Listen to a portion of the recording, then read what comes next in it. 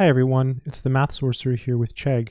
In this video, we're going to discuss vectors. Let's do some examples. So we have the vector A with components 2 and 3, and the vector B with components negative 4 and also 6.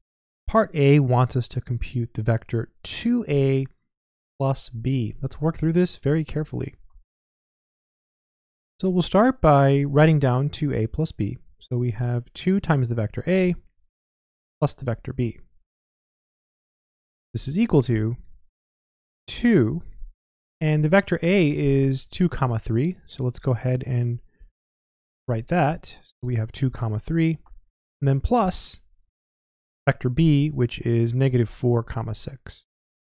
Negative 4 comma 6. All we've done so far is just write down the problem again and replace a with what it actually is, which is 2 comma 3, and b with negative 4 comma 6. Now what we can do is we can do something with this 2. So whenever you have a number outside of a vector like this and you're multiplying it by the vector, you actually just multiply the number by each of the components. It's really easy. So 2 times 2 is 4, and 2 times 3 is 6. If you're curious, this is actually called scalar multiplication because the number 2 is called a scalar. Plus and then we have negative 4 comma 6. And then now to add the vectors, all you do is you add the components. So in this case, the first component is 4, and in the second vector, the first component is negative 4, so it'll just be 4 plus negative 4, comma, and then 6 plus 6. This is a step that I normally skip. Basically, you could just write 0 and 12. You can just add them up and you know skip some steps. So this would be 0, comma 12. And that would be the vector that is equal to 2a plus b. So recap, you just take any numbers that are outside the vectors and multiply them through.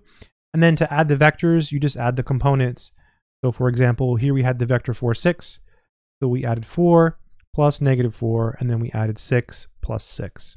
Let's go ahead and do another example. Part B, compute the magnitude of A. That's what the bars mean. They mean magnitude. Just as a side note, some books use a double bar for magnitude. So if you see that, it means the same thing. Let's go ahead and work this one out. Solution. Let me just give you the formula really quickly. So if you have a vector v and it's equal to, say, v sub 1 comma v sub 2, the magnitude of v is basically the square root of the component squared. So you take v1, square it, you add, you take v sub 2, and you square it. Basically the length of the vector. So in our particular case, we have the magnitude of a, which is equal to the magnitude of the vector with components 2 and 3. So in our particular case, we can think of v1 as 2 and v sub 2 as 3. And again, basically you're just squaring the components and adding. So you take the 2 and you square it. You put a plus sign, and then you take the 3 and you square it. So we have that the magnitude of A is equal to, well, 2 squared is 4, 3 squared is 9, 4 plus 9 is 13. So it's equal to the square root of 13. The magnitude of the vector is also called the norm, and it's also called the length. So multiple names for the same thing. Let's do an example that is a little bit more challenging. This example is very important because it comes up a lot in other problems. The question is to find a unit vector in the direction of, and then we have the vector a equal to 3i hat minus 7j hat plus k hat. So a unit vector is a vector whose magnitude is 1. So it's a vector that has length 1. And that makes certain formulas really easy, so it comes up a lot in calculus. Solution. First thing we're going to do in this problem is write this vector in component form because it makes it much easier to deal with. So the vector a is equal to, so in component form, you basically look at the number in front of the i hat. So there's a 3 here, so we put a 3 as the first component. There's a negative 7 in front of the j hat, so you put a negative 7. And then there's a 1, there's an invisible 1 in front of the k hat, so you put a 1. This is called the component form of the vector. And by the way, this is a vector in three-dimensional space, right? Because we have three components. All right, so to find a unit vector in the direction of a vector, basically all you do is you take your vector and you divide by its magnitude. So the magnitude of A,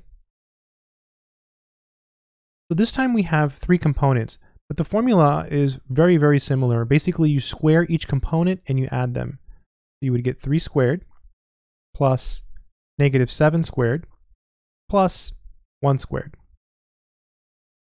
This ends up being uh, 9 plus 49 plus 1. So you end up with the magnitude of A equal to the square root of 59. And so now to find the unit vector in the direction of A, all we do is we divide A by the square root of 59. So I'm going to go ahead and write it like this. I'm going to call it U for unit vector. It's equal to A over the magnitude of A. Totally worth memorizing this formula. So you take your vector and you divide by its magnitude.